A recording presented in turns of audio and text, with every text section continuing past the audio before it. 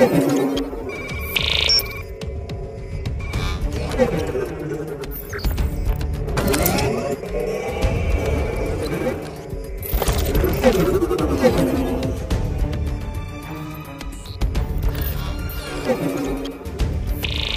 owl gives the, the, the main character, the, the, character you play, um, all kinds of abilities. It's, a, it's a, basically a flying, hovering attack drone that you can use to, to do things like attack, you can create shields, you can stun enemies, and it can even create zip lines. So there's lots of new different ways that you as a player can, can, can, can use to tackle different situations.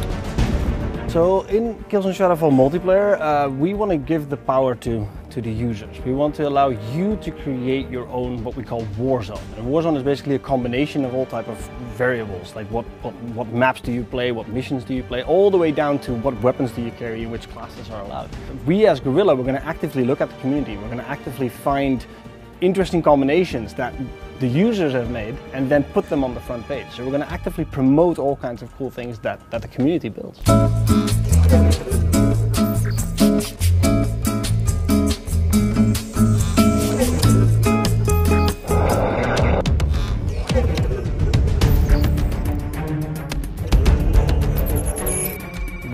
Like the idea of kind of rebooting the visual style a little bit because it's a new game, it's a new, new platform, it's next gen. Uh, see what we can do uh, with all that extra power. And it was also more in the future this time, so we had to also introduce a few elements to make it a little bit more uh, advanced looking as well.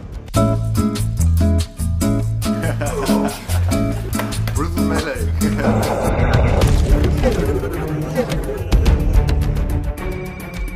were very fortunate to have a fantastic cast. Um, we have David Harewood uh, out of out of Homeland, uh, a TV uh, TV show.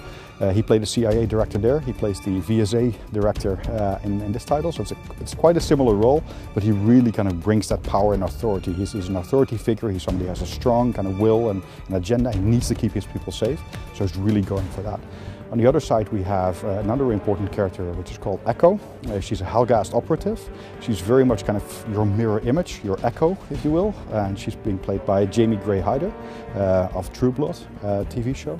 And she's a fantastic fit for her for that role. She's really powerful, she really kind of portrays the Helghast side really well and gives it kind of a, a real human face as well we want to be a launch title. We've never done we've never done that, but it's so important that that we could kind of flex our muscle on kind of some new hardware because it's creatively it's really inspiring uh, because the boundaries that you knew are all of a sudden going to be extended and it's you're breaking new ground. You're trying to come up with all of these new things. It's it's it's daunting. It's exciting. It's scary.